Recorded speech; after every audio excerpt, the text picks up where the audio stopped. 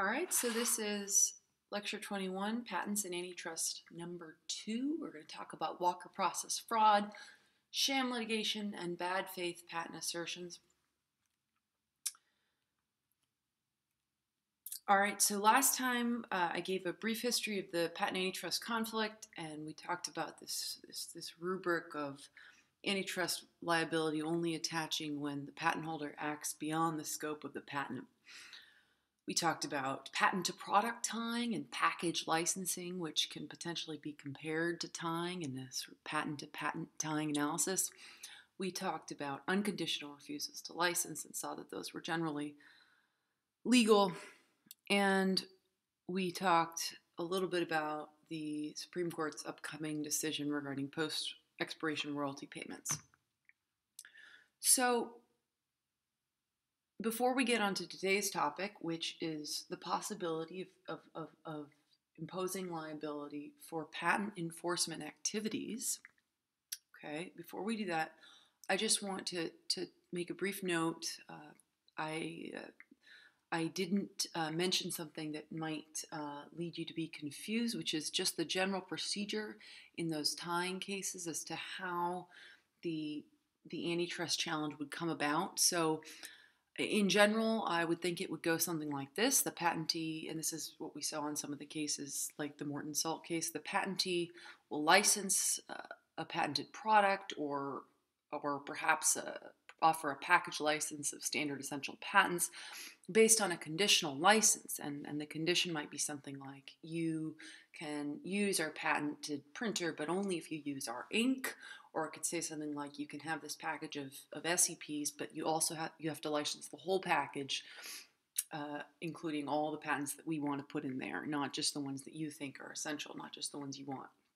So it's a conditional license, and then the licensee will in some way act outside the scope of the license. For example, they'll uh, they'll they'll use they'll, manufacture printers that don't actually use the patentee's ink, or they'll stop paying the royalty fees for the package license. They'll just stop paying, and at that point, the patentee might sue for infringement, saying, "Well, that's that's an unauthorized use. It's out unauthorized use outside the scope of your license, and so therefore you're liable for patent infringement." And then antitrust or patent misuse would come up as a counterclaim, and so the the uh, the, the the challenger would try to render the patent unenforceable or even get antitrust damages. And so that's that's generally I think how the procedure would go. And I just wanted to mention that in case you were confused by it. Okay, so let's let's go. All right, so this time we're gonna we're gonna talk about three different types of enforcement liability or three three sources of enforce, enforcement liability in enforcing patents. And the first is going to be antitrust law, and as we'll see, there's two types of claims there. The second is going to be uh, from patent law, and, and we're just going to talk about one of the, the ways to, to sort of challenge frivolous patent litigation. That's going to be uh, Section 285 attorney's fees. We are going to then talk about a really interesting evolving area of law, and that is state law liability for, for bad faith patent assertions. And then we're just quickly going to touch on reverse payment settlements, and that'll be it. Okay,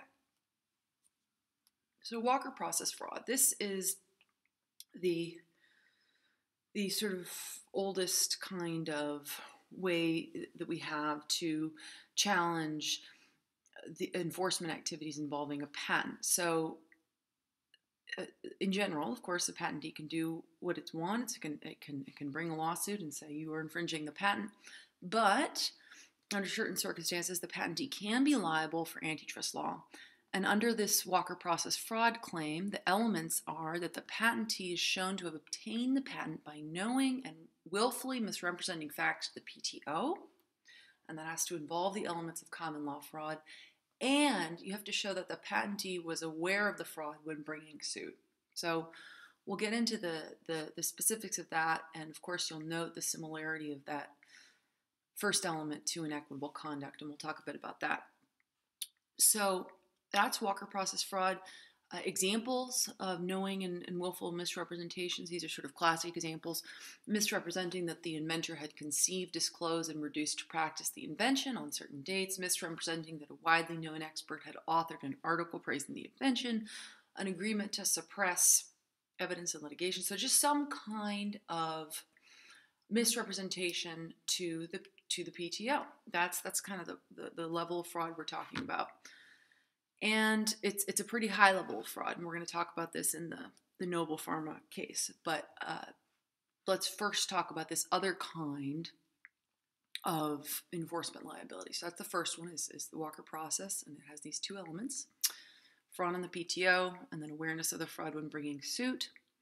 The second kind is this sham litigation, or sometimes called bad faith litigation claim, and that is based, it's sometimes called a Handgards claim because of this Ninth Circuit case that, uh, that, that, that held this kind of liability. So a Handgards game, a Handgards claim generally relates to enforcement of a patent that was not obtained by fraud. So not like in the Walker process context, it's not necessarily obtained by fraud, but it's enforced in bad faith. And as we'll see, that generally means with, with knowledge that the patent was invalid or non infringed. Okay, so so let's let's see what let's let's get let's understand this this this this this standard further because it's an evolving standard. This sham litigation, bad faith standard has not always been the same. But the Handgards claim that, that we get the name from, that's a Ninth Circuit case where the defendant uh, was held to be liable for an antitrust violation based on asserting invalid patents against a competitor that impaired the competitor's relations with potential customers. It, it, uh, it, it aborted a proposed joint venture and it left the defendant unable to, uh, to obtain financing. So it really, it was, it was, it involved bad pat, invalid patents was against a competitor and it compare it impaired the the the competitor's business. That's what happened in Handgards, and there was the Ninth Circuit upheld a large jury verdict finding an antitrust violation. So now the Federal Circuit has taken Handgards and other other cases involving antitrust liability and has crafted a a standard that has to be met in order to in order to uh, get a, a, finding of antitrust liability. And the general idea, this is this is a Loctite case. We didn't read it, and it's just it's just a case in the Federal Circuit talking about this Handgards claim and what kinds of standards you need to meet to to find to have a finding of antitrust liability in enforcing a patent. And the court says the barrier identified by Handgards is that a patentee's infringement suit is presumptively in good faith and this presumption can be rebutted only by clear and convincing evidence of bad faith. What that means is that generally the patentee has the right under the Patent Act to to to exclude others using its patents. So it can it can uh, do what it wants in enforcing the patent. It can communicate uh, uh, notions. It can communicate to another that the person has infringed, or it can bring a lawsuit and say and try to have the patent enforced in federal court. But the Federal Circuit is saying here that there, we need we need to have so we need to have limits. And so when when thing, when patents are enforced, we presume that it's done in good faith, and the challenger is going to have to show if it wants to get treble antitrust damages, it's going to have to show that presumptively uh, it's going to have to show that this this was done in bad faith. Okay, so the burden is really on the the anti, the person trying to get antitrust damages here. Okay, so now a really important concept we need to understand for both for Handgards claims and for the state law claims we're going to talk about later is Noerr Pennington immunity. This I'm going to call it Noerr Pennington immunity. It comes from some early cases in which the Supreme Court established a general principle of antitrust law that under the First Amendment, petitioning the government in order to enforce some federal right is not by itself a violation of antitrust law, and that stems from the language of the First Amendment that that uh, that says that that, that Congress uh, shall not prevent uh, shall not present, prevent people from petitioning the government, and that has been interpreted to mean that the activities like bringing a lawsuit to enforce a patent are not by itself violations of antitrust law, that there's this sphere of immunity, and that's called Noerr immunity. So the Federal Circuit has taken Noerr immunity and used it to recognize an exception for antitrust liabilities. Uh, uh, has has has taken so this is this is the general Noerr immunity. Uh, Noerr immunity. Generally, it's applied in the antitrust context, and it's it's it's it's immunity from antitrust liability for activities directed toward influencing government action. Okay, now at the federal circuit, the the the this is from Globetrotter, a case that actually, as we'll see, involves uh, state law, but it, it it lays out the federal circuit's view on Noerr and how it applies in the patent enforcement conduct. Uh, so the, the court says, although Noerr involved itself involved only mere attempts to influence the passage or enforcement of laws, the court later extended Noerr immunity from antitrust to attempts to petition the government for redress through litigation in courts. Okay, and then it says, so so so that that that means that uh, in the federal circuit's interpretation, this gives you relative immunity to make good faith assertions of patent infringement under the First Amendment. But the Federal Circuit goes on to say the Noerr court noted that immunity would not exist if the accused activity, although ostensibly directed toward influencing governmental action, is a mere sham to cover what is actually nothing more than an attempt to interfere directly with the business relationships of a competitor. And so there's the Federal Circuit recognizes that there can be cases where antitrust, antitrust liability can attach despite this First Amendment immunity and that case is where the main main example of this is where the case the, the litigation is really just a sham to cover what is nothing more than an attempt to interfere directly with the business relationships of a competitor. It's not it's not really a valid claim of patent infringement. So that's the sham exception. And the federal circuit's notion of what this sham of what meeting this sham exception required requires is going to be shaped now by the Supreme Court, big Supreme Court case in this area, uh, Professional Real Estate Investors, PRE, in 1983, which laid out what the sham exception requires showing. And it has two elements. Two elements. So the first is that the lawsuit is objectively baseless in the sense that no reasonable litigant could conclude that the suit is reasonably calculated to elicit a favorable outcome. And the second element is that the patentee is shown to have the subjective intent to interfere directly with the business relationships of a competitor through the use of process rather than the outcome of the process as an anti competitive weapon. Okay, so subjective and subjective elements. And that PRE standard, now we can map that back onto what we saw in the Handgards claim on the Ninth Circuit. And that's basically what the Federal Circuit sees now as the standards the standard for for for bringing a Handgards claim is you have to show that the the the patentee was engaged in enforcement con- conduct in, in in in bringing a lawsuit that was objectively baseless and that was based on this subjective intent to interfere with the business relationships of a competitor. So that's the standard. Now, interestingly, the it's not clear from this traditional conception of sham litigation that this PRE standard would apply outside the context of actual litigation. Like, what if somebody's just sending demand letters or making communications saying you have infringed our patent? Does does the First Amendment immunity attach in those situations? You know, are you are you immune under the First Amendment for good faith attempts to bring to to to to send in sending demand letters, and the the Federal Circuit has held that this that the Noerr immunity also attaches to this kind of pre-litigation assertions of infringement, and that means that when someone objects to that kind of activity and says, "Oh, you might be liable for antitrust law," that you have to meet this sham litigation two prong standard objectively baseless and subjective intent to interfere with business relationships.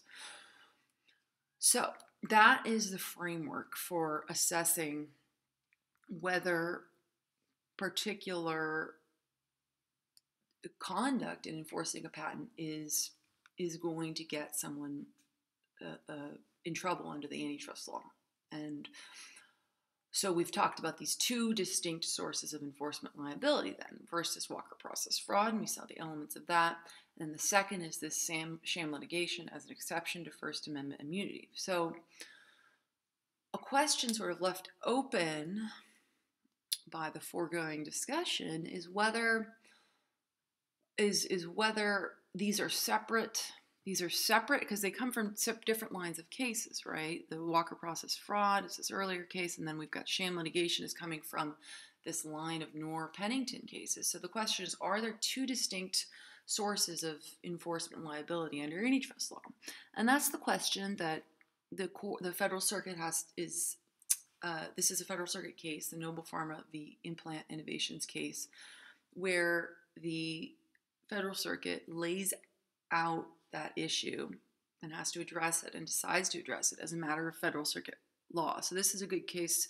We read this case because it really goes through both these kinds of claims you can bring, and it's a good way to understand exactly what kind of standards you have to meet for Walker process, especially. Okay, so the facts of this case are that the, there was a U.S. patent filed in 1980 for a, a particular dental implant, and the uh, the inventors. There's two inventors, and they've exclusively licensed this patent to Nobel Pharma. Okay, and the, the claimed invention is an element intended for implantation into bone tissue. Now, a key point of novelty in the invention, uh, and the, the, the, specification reveals this, is that the, the claimed implants are made of titanium and they have a network of particularly sized and spaced micropits that allow a secure connection to form between the implant and the bone tissue. Okay, so that's the facts of the case. Now, the jury findings, the jury had upheld a had, had found basically what, what what looks like a Walker fraud process, a Walker process fraud case. It had found first that the inventor oh oh my goodness, first that the inventors uh, obtained their patent through fraud, and so that so that the, the fraud element was met. Uh, also, the jury found that, that Nobel Pharma had knowledge of the fraud at the time the action was commenced against the defendants. That's the second element of, of, of Walker process. And, or, and, and, and, and further, that, that the Nobel Pharma brought the, the lawsuit against the defendant knowing the patent was either un, either invalid or unenforceable with the intent of interfering directly with the defendant's ability to compete in the relevant market. So we've got all of these elements of Walker process satisfied here that the, the patent was obtained through fraud, that Nobel Pharma had knowledge of both the fraud itself and with uh, knowing that the patent was either invalid or, or unenforceable. And there was also this intent to interfere directly with defendants' ability to compete in the relevant markets. There's a lot of stuff going on here that looks bad, and it, it looks it looks like both both kind of pieces of, of, of both the Handgards claim and, and especially this Walker process claim. But this is what the jury found. Now, the grounds for appeal are twofold. So there's this appeal to the Federal Circuit. And the first uh, ground for appeal that Nobel Pharma says is that the jury finding that the patent was obtained through fraud and that Nobel Pharma knew of that fraud when it sued was not supported by substantial evidence. The second ground for appeal is that the, the judge failed to instruct the jury on Noerr immunity, Noerr Pennington immunity. So the judge failed to talk about any of the First Amendment protection, protections that Nobel Pharma would potentially have, and it failed to tell the jury, look, you need to you need to note you need to note jury that bringing a lawsuit cannot be the basis for antitrust liability if the suit was not objectively baseless meaning that the jury didn't understand, according to Nobel Pharma, the jury didn't understand that they would have to make this additional finding that the suit was objectively baseless. So now the, the Federal Circuit finds this case important and, and, and it, it notes that a lot of these issues are matters of, uh, to some extent, for first impression with respect to patent law, and so it says we're gonna we're gonna decide, decide these issues as a matter of federal circuit law, rather than relying on various regional precedents. We're not going to deal with all those all the divided views. We are going to decide how Walker process, fraud, how all this stuff is going to be dealt with at the federal circuit, and how Noerr immunity is going to apply here.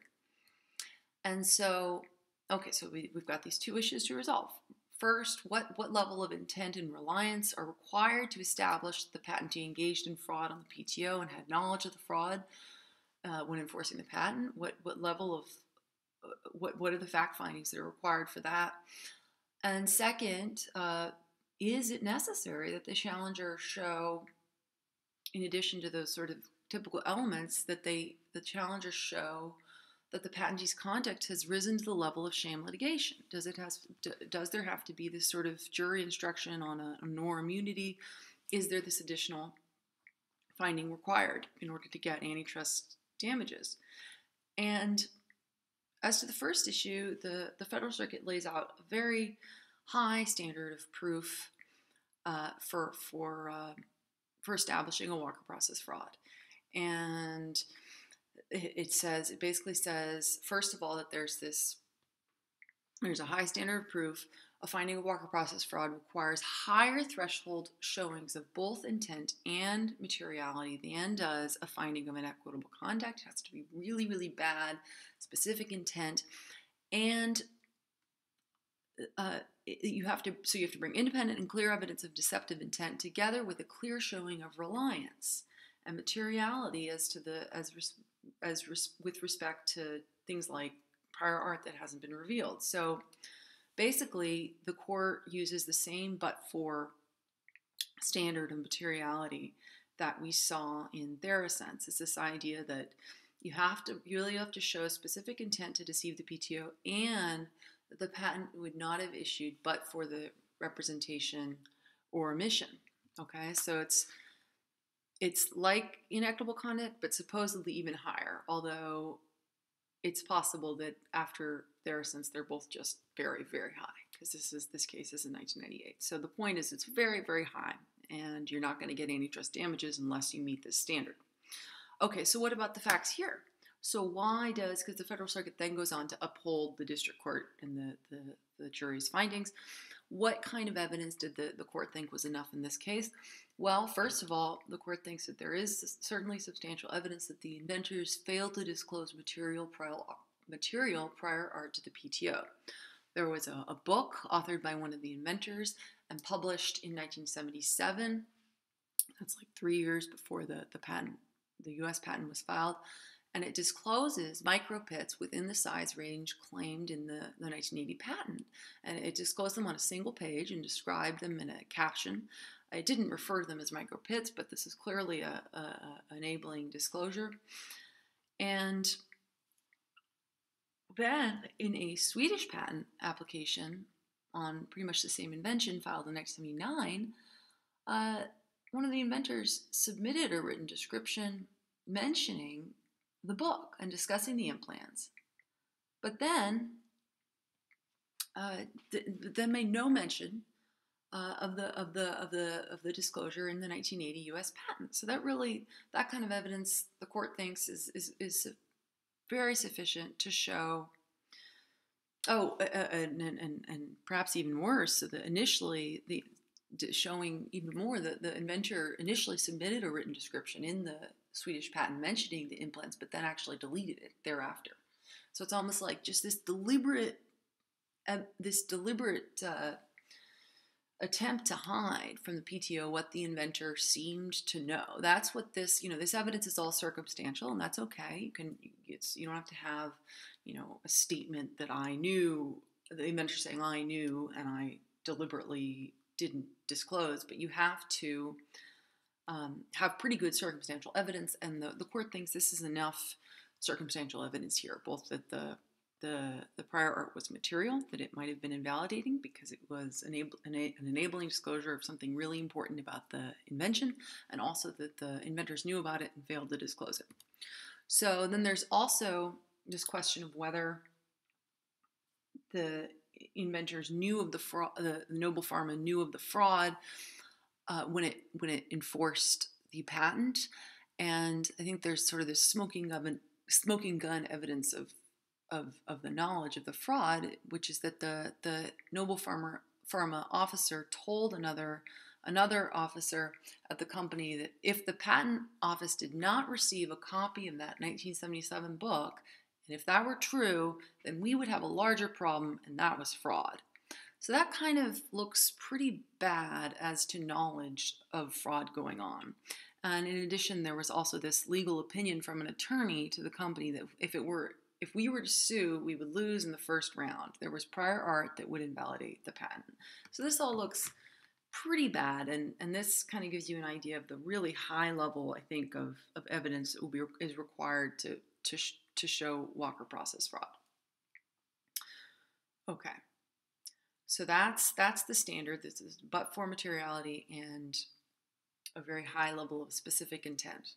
Okay, now what about this second this second really purely legal issue is is what is is did was there a problem in the court non-instructing? So given that we have i think these elements of walker process fraud shown did the jury also have to get a jury instruction on first amendment, amendment immunity and sham litigation and saying look you've you've got to show that the lawsuit was objectively baseless.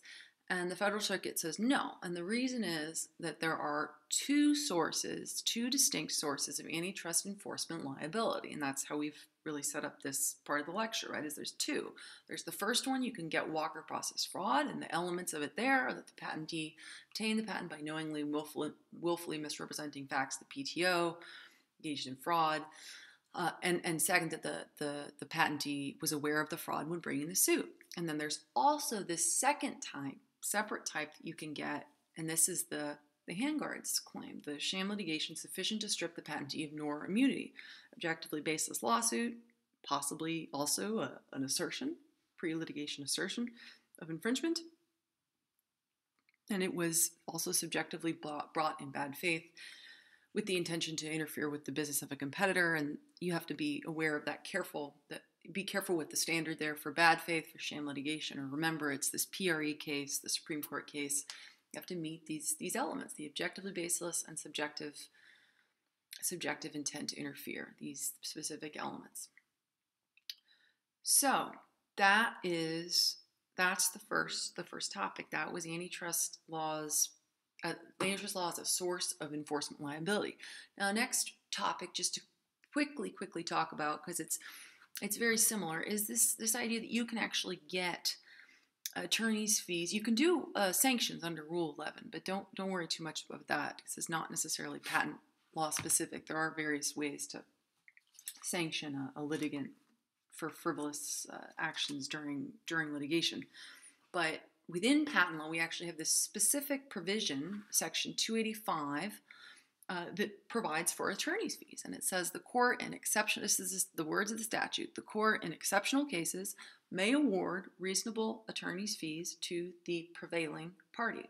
And that might imply that when a litigant, uh, oh, for example, when a, a patentee uh, enforces its patents and during the course of litigation or even possibly before litigation uh, engages in just really exceptionally bad conduct, the court can, can, can potentially change the usual rule and require the the uh, patentee, if it loses, to then pay the attorney's fees of the winning party. So that might cover a case, um, a case, for example, like where a patentee is uh, is brings a a really weak lawsuit and then ultimately loses in a really bad way. And during the whole course of the trial, uh, just does things to delay the suit or things that, that, that, that seem exceptional, the court can shift fees to the prevailing party. However, under the Federal Circuit's old standard, it was very hard to meet this the, the standard for two, the, the exceptional standard for 285.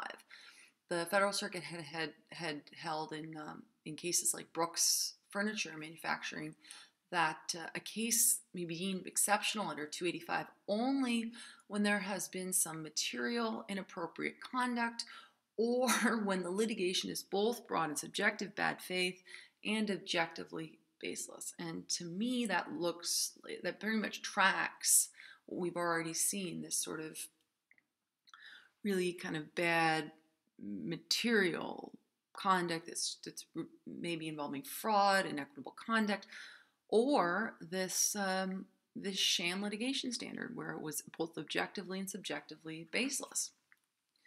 so that was the Federal Circuit's old standard, which was very hard to meet, and not many attorneys' fees were shifted in that way. But now, recently, in this Octane Fitness case, the Supreme Court has changed this law and has said that that standard was not uh, was not right, and that in fact the statute doesn't have such a high standard for getting attorneys' fees. And some people think this case, and I think this case comes in in the wake of critiques of patent trolls and this idea of that patent troll is sort of a derogatory term for non-practicing entities, for patent assertion entities, and we're going to talk about that in a side lecture on this particular topic. But it's just this. Uh, the point is that there, that this this case comes down in a in a framework where people are really upset about patent holders bringing suits against, partic- particularly when the patent holders don't practice themselves and are suing perhaps small businesses and and maybe their claims are quite weak. So, at any rate, in Octane Fitness, Supreme Court changes the standard, says an exceptional case is simply one that stands out from others with respect to the substantive strength of a party's litigating position, considering both the governing law and the facts of the case, or the unreasonable manner in which the suit was litigated. District courts may determine whether a case is exceptional in the case by case exercise of their discretion, considering the totality of the circumstances. So that language, the totality of the circumstances and the and the, the discretion, that implies that district courts should have, under this new standard, much more leeway to grant attorneys' fees to prevailing parties. So that is that is section 285 and this is is another way besides antitrust liability that you can potentially get a transfer to a prevailing party uh, in a in a pat in a in a in a case where enforcement activity has not been um, has has been potentially uh, uh, something that we want to deter. So, so the final sort of topic is this another source of liability for enforcing in, in conduct and enforcing patents is this state law liability for bad faith patent assertions. So there's been some really interesting developments in this area. So prior to May 2013, and historically, there have been a variety of sources of state state law liability that might impose liability on conduct in enforcing patents. And this is consumer protection laws, deceptive trade practices statutes, tort laws, uh, tort law and unfair competition. These are sources of state law that had previously been used. What would often, what the procedure would usually be that someone is sued for patent infringement, and then there's a lawsuit, and the it's decided, and the the defendant wins the case, and along with winning uh, winning the case and not being found liable for infringement, they'll also counterclaim for, for under state law and try to get maybe some compensatory damages or even exemplary damages under these state law sources. And so it would generally happen after the case had been litigated and it was and the, the strength of the of the case has become apparent because it's all been fleshed out. We know whether the patent's valid, we know how the infringement analysis went.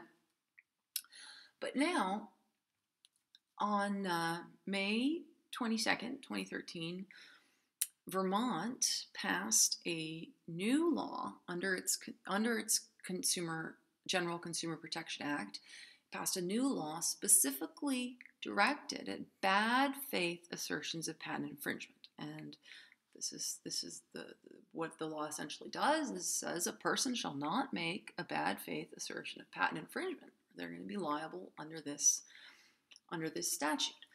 And the Vermont Attorney General thereafter, or, contemporaneously, uh, sued a patent troll, this company MPHJ, that had been sending demand letters to companies across the US in different states, including Vermont companies. And so the Attorney General sued this so called notorious troll, MPHJ, and it claimed that the demand letters violated Vermont's consumer protection statute. It, uh, the, the Attorney General actually didn't use this new law for whatever reason. The Attorney General used the General Consumer Protection Act, but the the, the implication is that this is that, that the this is really under the new law.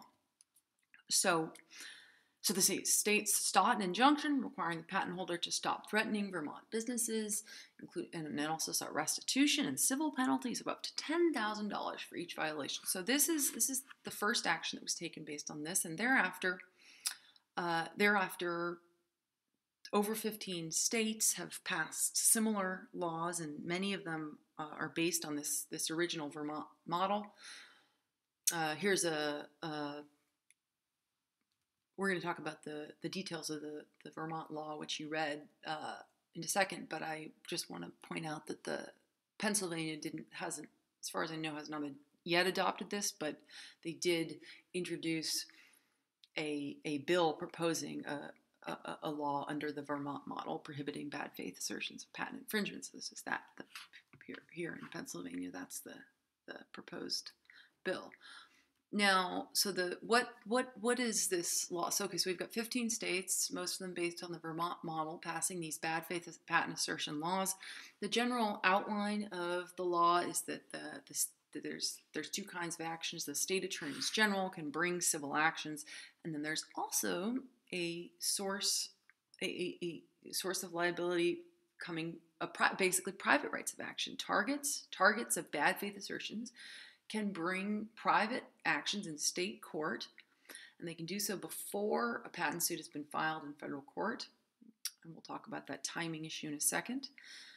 Uh, so targets of pat- bad faith patent assertions can bring private actions seeking liabilities. Prevailing plaintiffs can get equitable relief, meaning an injunction to say stop this bad faith assertion. They can get compensatory damages. They can get costs and, and, and attorney's fees. They can get exemplary damages in an amount equal to $50,000 or three times, looks like. And there's also this bond requirement of up to $250,000, which is very unusual.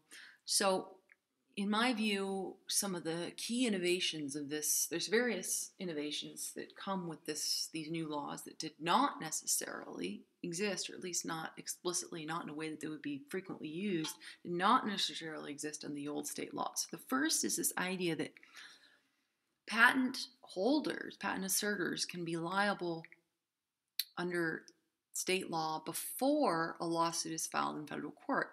So here under the Vermont law, a target who is who a target who can sue under the new under the law is defined as a Vermont person who has, for example, received a demand letter or against whom an assertion or allegation of patent infringement has been made or has or who has been threatened with litigation or whose customers have received a demand letter asserting infringement. So what this says is that you can sue under this law before you've actually been sued in federal court and for patent infringement, and certainly before the patent infringement suit has been litigated. So it's just after you've received demand letters.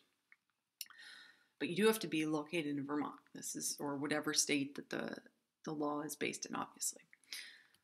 So there's also this bond requirement which says upon, upon motion by a target and a finding by the court, and that'll probably be a state court, that a target has established a reason, unless there's a case, well, we'll see this in a second, but unless there's a source of, of federal jurisdiction, if it's just a state law claim, assuming the law is upheld, it would be a state court hearing this, and upon motion by a target, uh, that the target has established, uh, was once the target so the target will make a motion saying they've established a reasonable likelihood that a person has made a bad faith assertion of patent infringement in violation of this chapter. Then the court shall require so presume seems like they have to require the person that is the patent asserter to post a bond. And that bond can be in an amount equal eh, amount equal to the good faith estimate of the target's costs to litigate the claim, and the amounts reasonably likely to be recovered, uh, it, it, it can be up to $250,000. So that is pretty significant. So if you're a patent holder and you bring an assertion and the court finds based on the, the complaint that that uh, the, the the target has made a showing of reasonable likelihood of success, then you ha- you can have to pay this this bond. So the other key innovation that these laws, new state laws, do is that they create a discretionary standard for bad faith and they lay out a variety of non exhaustive factors that the court may consider in deciding whether uh, whether uh, a patent holder has has made a bad faith assertion. And it includes a variety of factors and uh, you can you can look at them in the the, since you had the law for the reading, you can look at them. But here's a few of the just a few select ones I selected. Uh, the demand letter does not contain the following information, and the statute lists a variety of information like the name of the patent holder, uh, the patent number, etc. Uh, the demand letter demands payment of a license fee or response to the letter within an unreasonably short period of time the, the person, the patent holder, offers to license the patent for an amount that is not based on a reasonable estimate of the value of the license. The claim or assertion of patent infringement is meritless, and the person knew or should have known that the claim or assertion is meritless. And there's a variety of other factors, and then it says, in any other factor the court finds relevant. And the statute also lists a variety of factors that might be a showing, might indicate an absence of bad faith. So this is this is new. There's this whole specific information given at the statutory level as to what might constitute bad faith. And that's pretty different from the kind of bad faith that we've been seeing so far in the, for example, in the Noerr sham, sham petition exception context, context there was there were no specifics. The idea was just it had to be objectively or subjectively baseless, but we don't have this list of, of factors to consider. So that's pretty interesting. Now, the really key question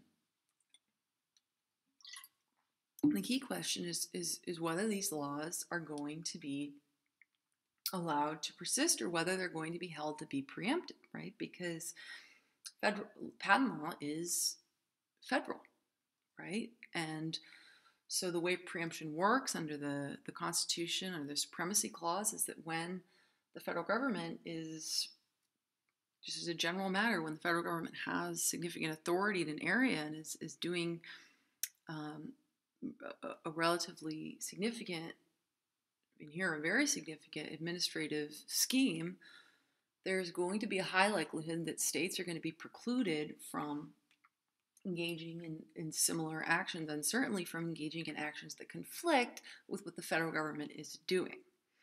So, are these laws preempted?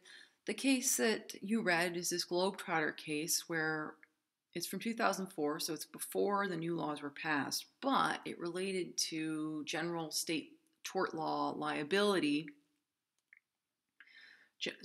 uh, and, and, and, and did address directly the question of whether federal patent law preempts state law tort liability.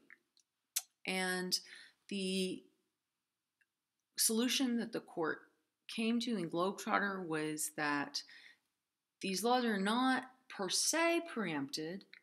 They, states can impose some liability for patent holders um, pre litigation or, or during litigation assertions of infringement.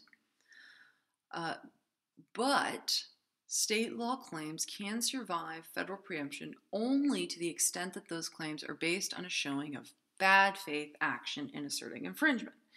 Now, where do we know this language, this bad faith language? Where is this coming from? Well, in Globetrotter and Globetrotter, the court makes clear that it's coming from both patent law and the First Amendment, from this Noerr immunity uh, that we saw earlier. And so the court in Globetrotter basically says that Noerr immunity applies to state law claims as well as federal antitrust claims.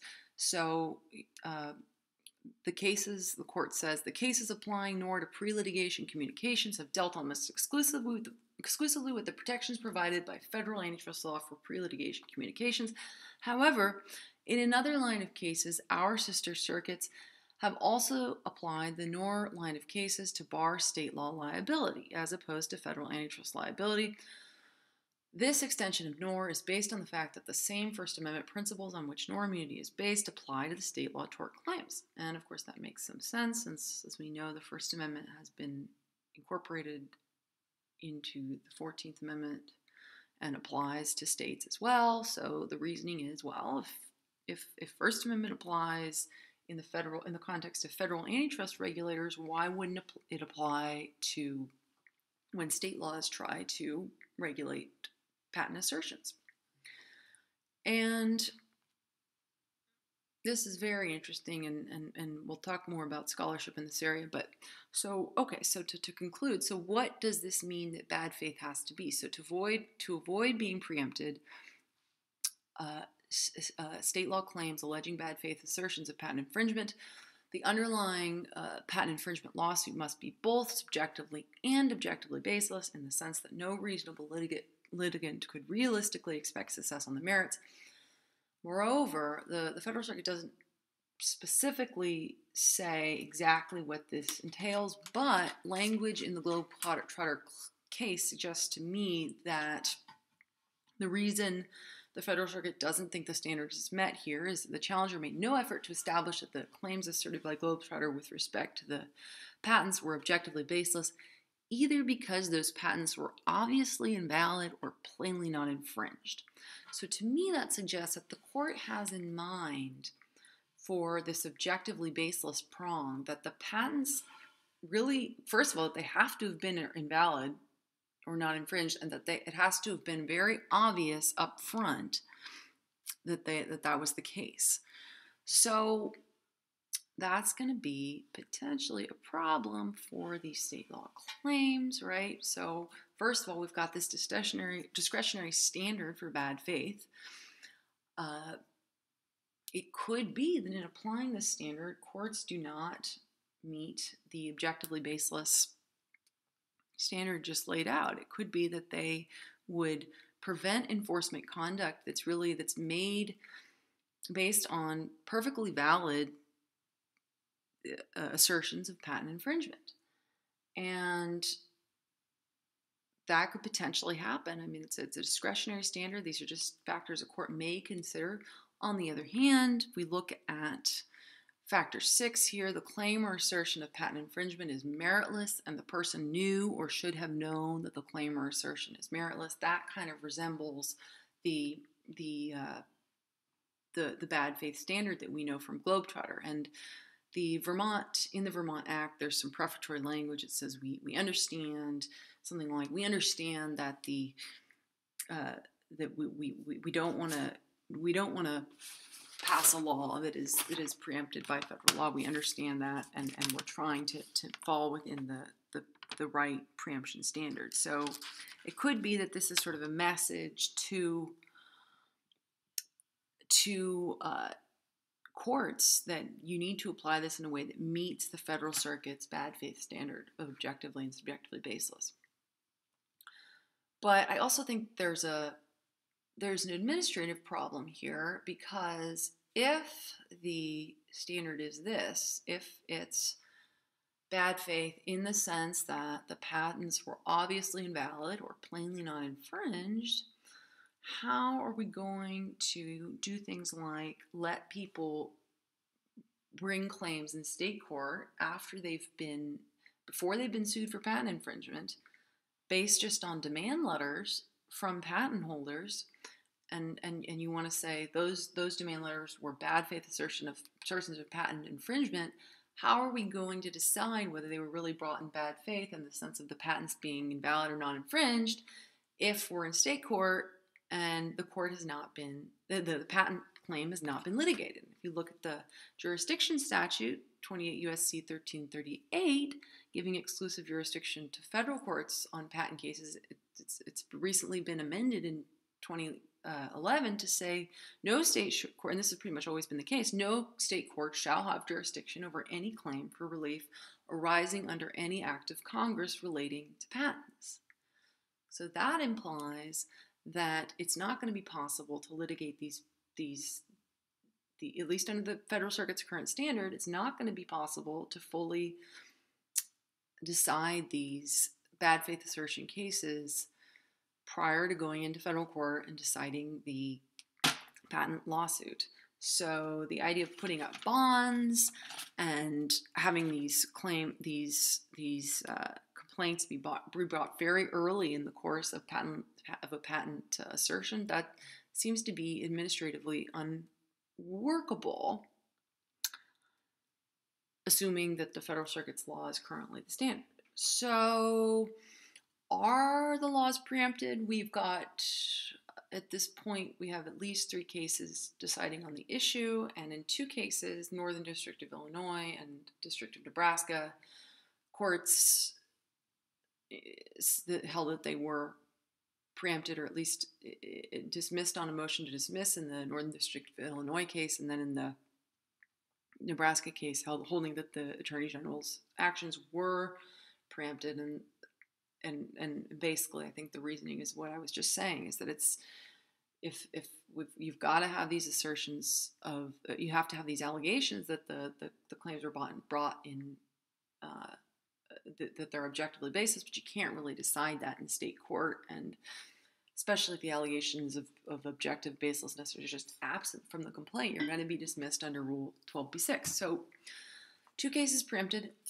This other case in Vermont itself, the original state, they're not preempted and remanded to state court. So what happened there? Well, the the the the patent troll, so-called patent troll that was that had been um, sued by the attorney general, went moved into uh, federal court to the, the United States District Court for the District of Vermont, tried to be removed there, and claimed that the state's action under the Vermont Consumer Protection Law was preempted by federal patent law and would impact its federal patent rights, and this created exclusive federal jurisdiction over the case and warranted removal to federal courts. There's two. There was basically two claims: first, that the law is preempted by federal law, and second, that that uh, removal to a federal court was warranted because of, of patent law jurisdiction. But the district court for Vermont has none of this. And first, it says that the state's complaints brings claims solely under state law for unfair and deceptive practices, and its claims are premised on multiple theories that do not implicate federal patent law. So it it basically says that these this this is not uh, well it doesn't hold that they're preempted, and then it uh, it remands to state court to decide this, to decide the, the issue of bad faith. It says because the case could not have been filed in federal court under the jurisdiction statutes, the court grants the state's motion and remands the case to uh, to state court under the well pleaded complaint rule. So the idea is there's just no basis for federal jurisdiction, and it's completely possible to decide this issue of bad faith under under state law, and that really does seem to conflict, in my view, with a lot of the Federal Circuit case law on this. So we will see. This is very interesting. We've got a split among federal courts on how they're deciding this issue. Maybe it will go up the ranks and we'll see a final decision later on. Oh, and of course, it's already going up the ranks. So, right, so this Vermont order was appealed to the Federal Circuit, a panel of three judges Judge Prost, Newman, and Judge Hughes. And they they simply stated very concisely an order remanding a case to the state court from which it was removed is not reviewable on appeal or otherwise here, the Vermont District Court repeatedly stated the, petition, the position that the court does not have subject matter jurisdiction. We therefore lack jurisdiction to review. So the Federal Circuit did not get involved either. So, for now, this is the situation with states coming out with this with courts coming out in different ways across the country. Now, within academia, there are divided views on whether these laws are or should be preempted. And Paul Gugliuzza has a excellent piece on this forthcoming in I think the Virginia Law Review, and it's it's it's uh, it's he argues Gugliuzza argues that the First Amendment uh, immunity under Noerr does not apply uh, outside antitrust law. He argues that's just wrong because we've seen in this course of this lecture how the, the Federal Circuit imported Noerr immunity and uh, and he argues that that's just a, a creation of the Federal Circuit and it's just wrong. And then he argues he argues that without First Amendment immunity, the new state laws would actually survive preemption as a matter of patent law. He doesn't think that patent law on its own creates a source of immunity from state regulation. And that is actually a little controversial in my view. But uh, so states, right, so the second, uh, another person writing on this is Robin Feldman. And Robin Feldman has written a significant amount of literature being very skeptical of patent trolls. And she has she gave an excellent talk at Yale Law School recently where she argued that states have broad concurrent authority to create liability enforcing patent rights, including detailed disclosure rules for patent assertions. And she compared she compares states' concurrent authority in the patent context to their consumer their their concurrent authority to regulate in other areas like corporate law. So she has some very interesting things to say. And now my own view, my own view, which I am writing on this, and I think that even so, I think Gugliuzza has a point that Noerr amendment, Noerr immunity, you know, it's been brought into this area. I don't think that the Federal Circuit was unreasonable in doing that. As I already said, if the First Amendment applies to states and it it uh, it uh, it does, so it doesn't seem like if circuit courts all over the country have been applying it in similar contexts, it just doesn't seem to me that Noerr wouldn't apply here. But be that as it may, even if we decide that, look, Noerr immunity shouldn't apply outside antitrust and it really shouldn't apply to state regulation outside the antitrust context, even, even if that's the case, I think the laws are preempted in full or at least in part by federal patent law itself under the Constitution and the Patent Act. And I am researching this now and I am uh, writing a piece on this, and I will give my full iteration of why I think this is the case historically, legally, and as a matter of policy. So that is those are the divided views within academia. And of course, you guys, I'm very excited to hear what you have to say because the exercise we're doing this week is going to address a lot of this stuff, and you'll have your, a chance to make your own, uh, give your own thoughts on this.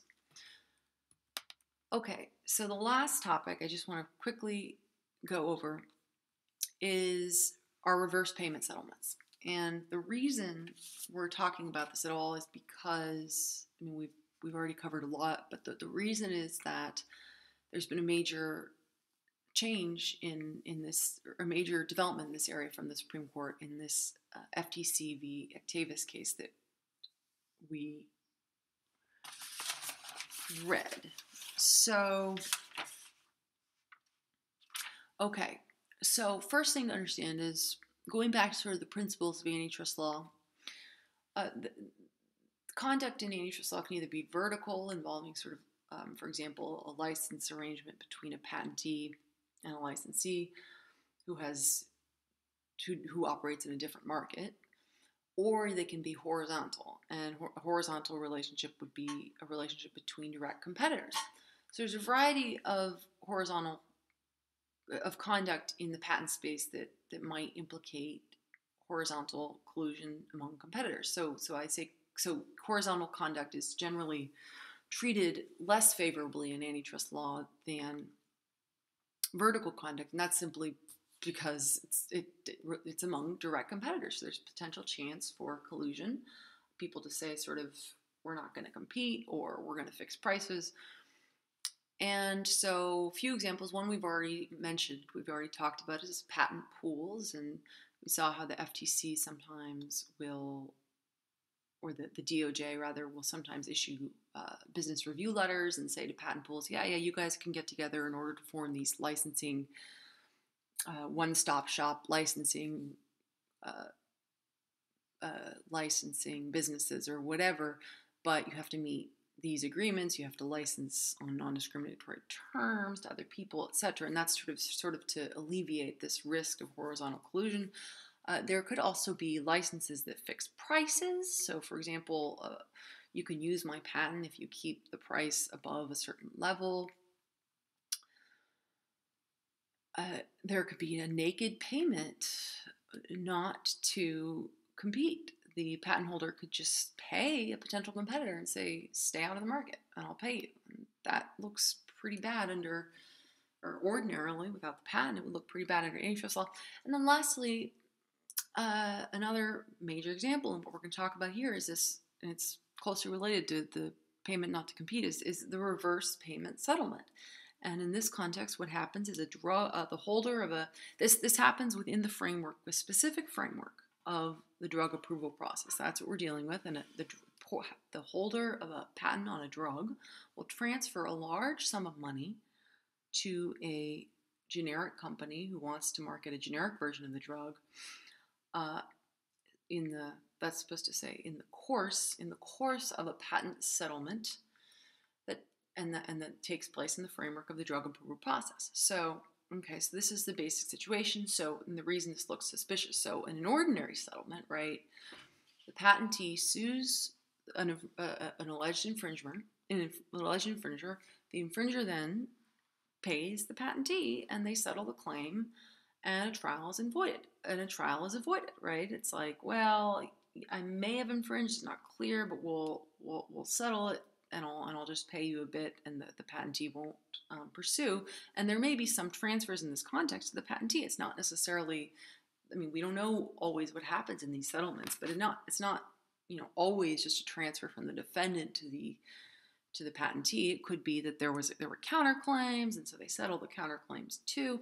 But the point is that in general, that's going to look different from what happens in the reverse payment settlement, where the patentee pays the infringer a significant sum of money to settle a claim of infringement, and a trial is avoided. So here, the transfer is significant and, and, and, and entirely seeming enti- seemingly entirely to the to the alleged infringer. And so this occurs in this specific context of the the case the place where we see this is in the context of the Hatch-Waxman Act's approval uh, Hatch-Waxman Act's framework for approving drugs. So in this in this framework, what happens is a drug manufacturer that wants to make a new drug and get approval from the FDA will file a new drug application, um, one, and then the FDA will grant its approval, saying yes, this looks safe to market. The drug manufacturer will then enjoy, assuming it has pretty much always has a patent, it will then enjoy you know some period of exclusivity from competition. So they'll be manufacturing the drug, but relatively early in this process, the generics are permitted to begin filing.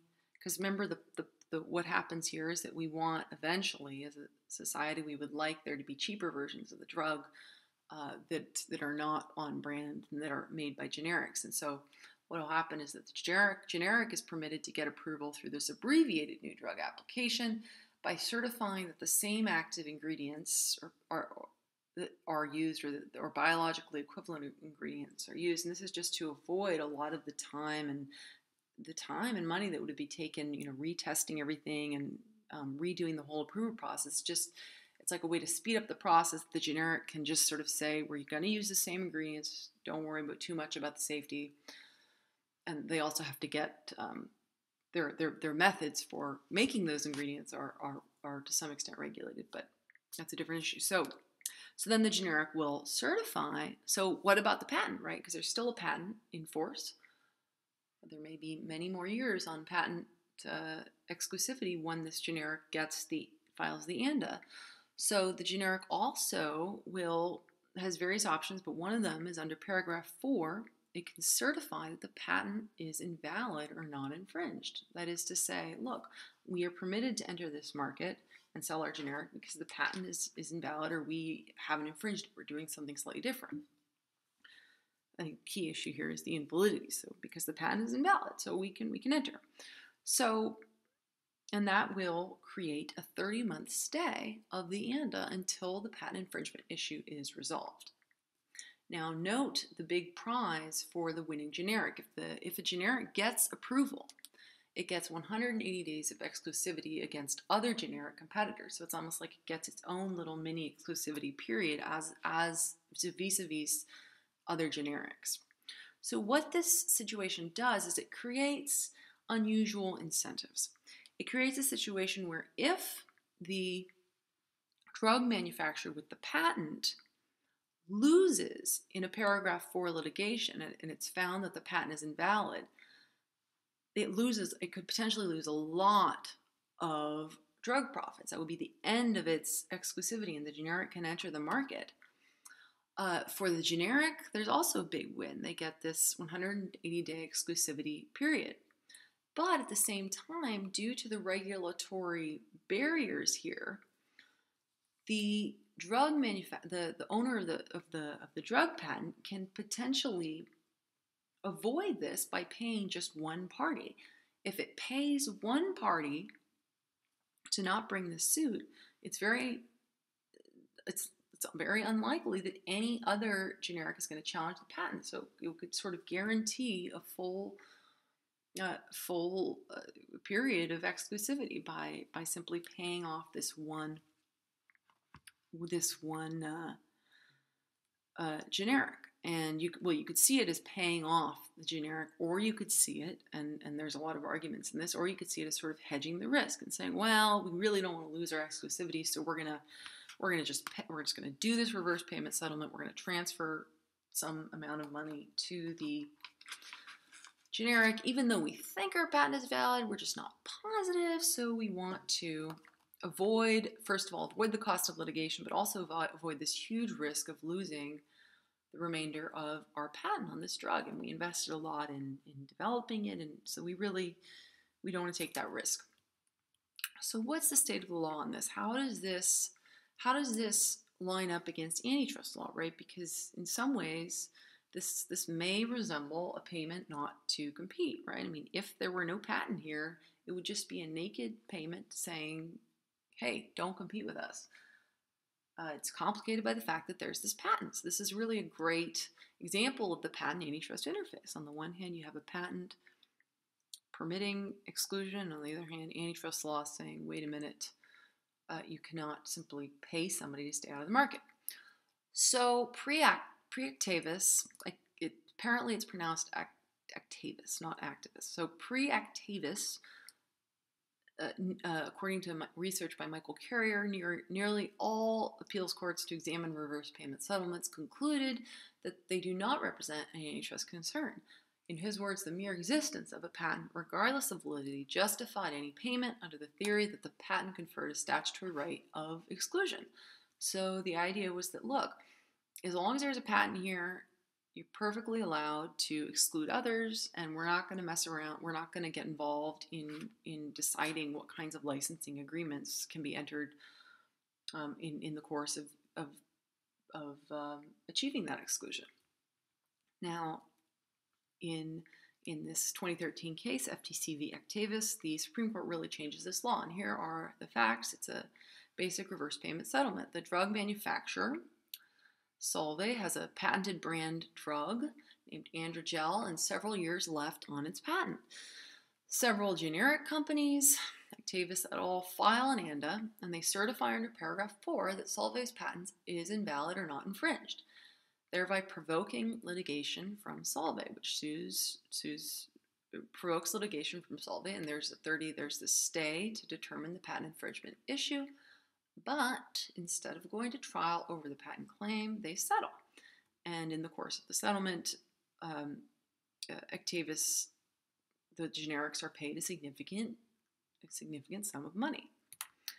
So the majority, uh, the case is, the opinion is, the majority opinion is written by Justice Breyer, and it it holds, in, in contrast to this, the 11th Circuit uh, applied the usual the rule that many circuits were applying, and it says, look, this is we're not going to touch this with antitrust law. There's there's a patent here, and uh, uh, we can't review it as a matter of antitrust law as long as there's this patent and the, the patent validity issue hasn't been decided and there's already been a settlement, so we're just going to stay out of it.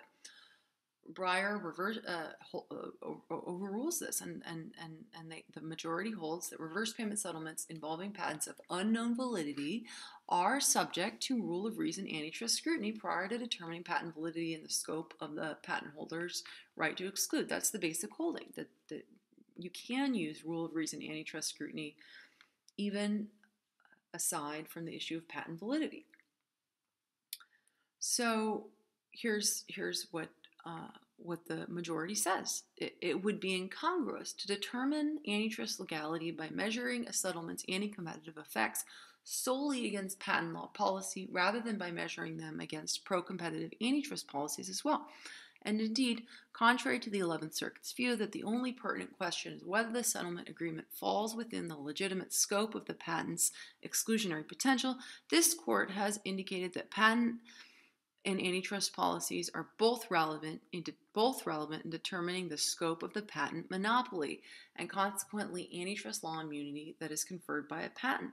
So that's to say, look, the 11th Circuit basically used this idea of the scope of the patent monopoly as a def- as a source of immunity, the, the, the court says that's not that's not right. In fact, both patent and antitrust policy can help us determine the scope of the patent monopoly. So remember, this is going back to what we talked about in the first lecture, and this whole time is antitrust law is supposed to only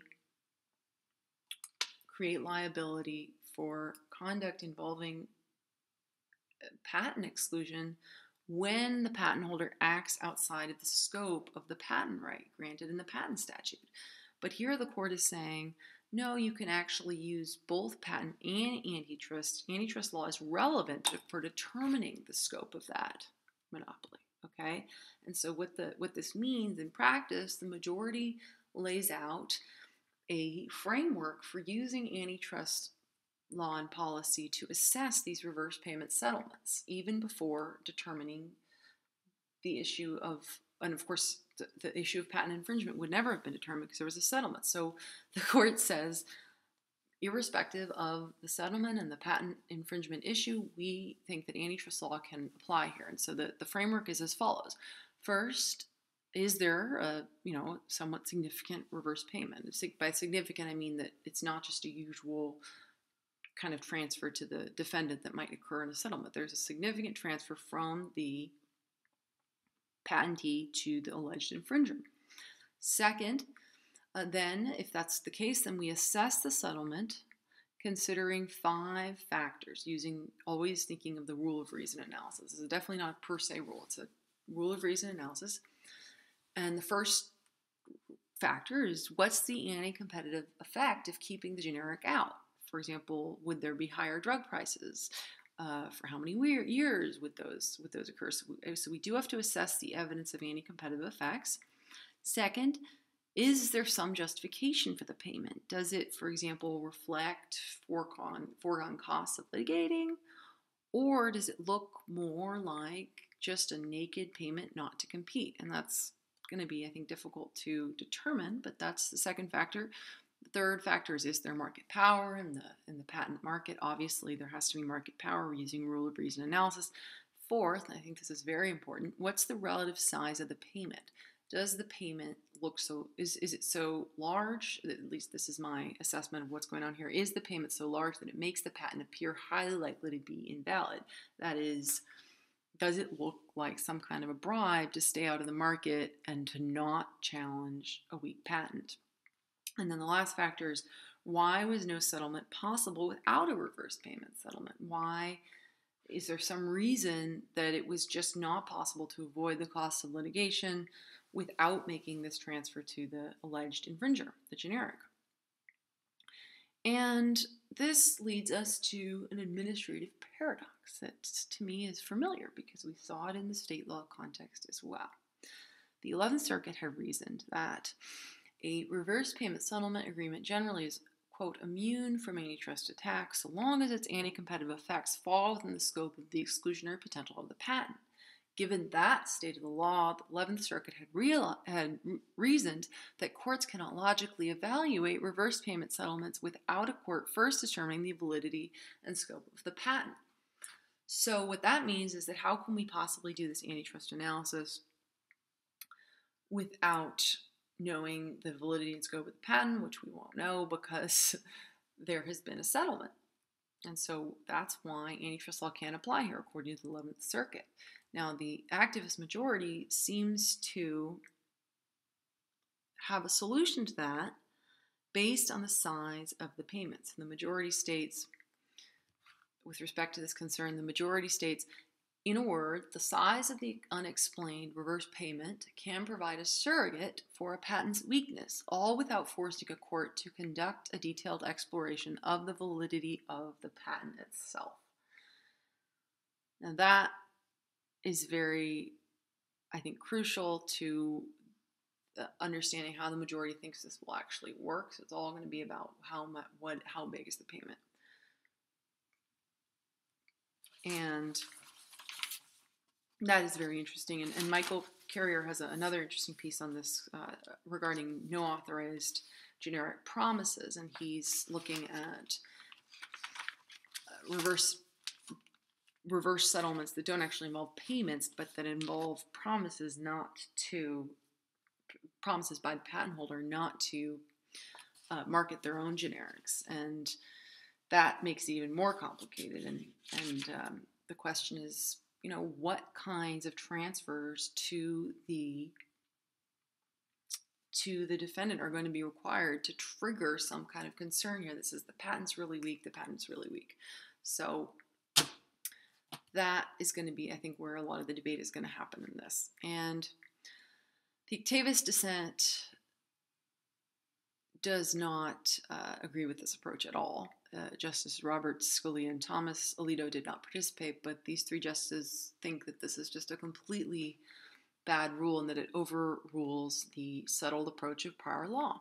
So, first of all, the court says that we should we should simply follow the usual rule that a patent provides uh, an exception to antitrust law and that the scope of the patent, i.e., the rights conferred by the patent, forms a zone within which the patent holder may operate without facing antitrust liability. So that's just the general thing we've been seeing about this immunity based on the scope of the patent.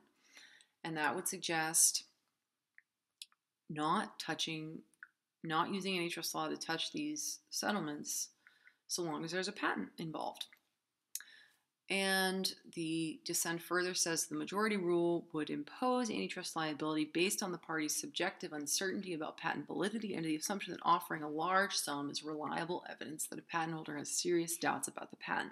And so, what the, the dissent is saying is that, look, there can be, the, the, the, it's not necessarily a bad thing that for the, it's not necessarily evidence of nefarious intent that a drug patent holder decides to, to simply pay the generic to stay out because of uncertainty about patent validity. That's just endemic to patent litigation. We don't always know for sure whether a patent is invalid or not. That doesn't necessarily mean it's it's weak.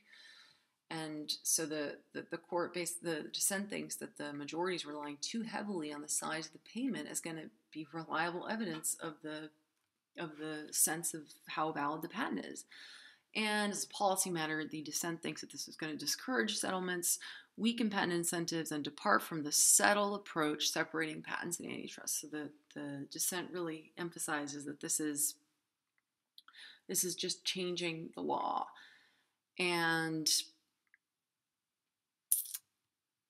the uh, it, it's interesting to note that both the majority and the dissent are citing this case line material which is an early, earlier, much earlier antitrust case, but it's it's important because it verified that courts uh, had authority to review patent licenses that allegedly involved price fixing under antitrust law, and it had a similar issue there was whether just the existence of a patent would say to antitrust, look, there's immunity, stay out. And in line material, the court had held, the Supreme Court held in a very important way that it was okay to review these kinds of agreements. And here, it seems to be a similar sort of key moment in and a, and a key and a very strong division between these two approaches. Is should we let antitrust regulators come in and potentially interfere with what's going on in patent law, or should we just say no? Patents are patents create this this zone of immunity. So that's the Actavis decision, and that is pretty much all we are going to cover. And here's just a quick summary of what we did. We talked about the, time, the patent to product tying and the patent to patent tying And the the conclusion there is that in order to prove that kind of a claim, it's going to be hard. First of all, must show market power in the tying product or, or uh, the, the tying patented product uh, or the, the tying patent. Uh, must uh, must show in some way that these are actually separate products, and that means sort of uh, that there aren't truly significant efficiencies that make selling them together efficient. And lastly, it's it's all in the rule of reason analysis. So there actually has to be analysis of the anti-competitive effects imposed by this tying arrangement. So we also talked about uh, forms of enforcement liability, Walker process fraud on the one hand, meaning the patent was obtained through fraud on the PTO. The, the, the patentee knew of the fraud when the suit was brought. And there's also this sham litigation, uh, sometimes called the Handgards claim, and that is where the patentee didn't necessarily obtain the patent through fraud, but the lawsuit itself was objectively baseless and based on this subjective intent to interfere with competition. We also talked briefly about attorney's fees under Section 285, which, know, which are available in exceptional cases. And the Supreme Court has recently held that this is not limited to cases uh, that meet this sham petition exception. That they, it's more of a um, discretionary standard in courts whether to award fees. We also talked about state law liability for bad faith patent assertions, and the question left open there is whether these laws are limited by the the rule of the Federal Circuit that, that the the the assertions have to be objectively and subjectively baseless, which of course requires deciding, I think, whether the patent is uh, whether the patent is, is any good or not, and that that's probably going to be something that has to be decided in federal court. So the last thing we talked about are these reverse payment settlements, and the Supreme Court has now held that rule of reason analysis under antitrust law is possible before oh, uh, before determining patent validity. So, so that is that is that is it. That is patents and antitrust, and I hope that you enjoyed this unit. And we will discuss this more in class when we do our exercise. Thank you.